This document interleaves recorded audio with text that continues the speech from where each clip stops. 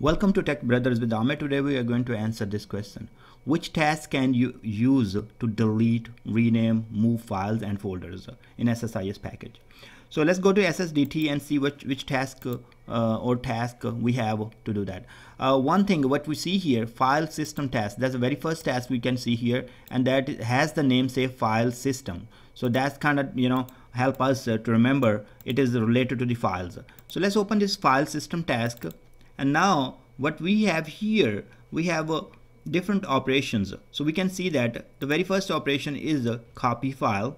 The next create directory delete directory delete directory content delete file move file move file and uh, move directory and rename file. So there are different types uh, and we can set the attributes as read only and uh, read write whatever of the those files as well.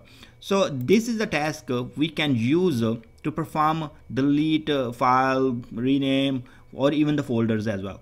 One one more thing.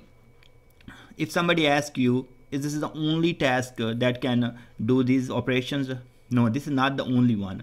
So we have a script task here. If we see here uh, let's find out script task. Script task uh, can also do the same operations what we are doing with the file system task. The only difference is uh, by using the script task what we have to do we have to write the code by ourselves. So we have to use a sys.io um, namespace and uh, then uh, we can select any of the C sharp code or we can uh, select the VB.NET uh, and uh, you know that's that's how we can write our scripts uh, and uh, we can read um, from the directory the file names and we can move them to the different folders. We can create a new folder. We can create folders with the date time and all that. Those all things can be done with with file system task as well. But there are certain things with the file operation maybe the file system task cannot do. File system task can only do these operations.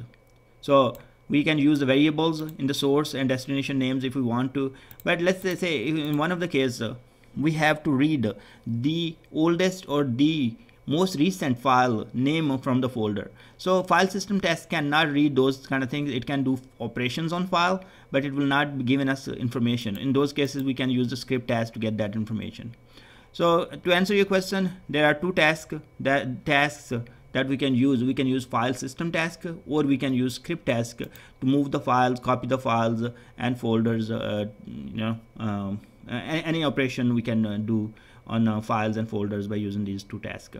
Uh, thanks very much for watching this video and I will see you in next video.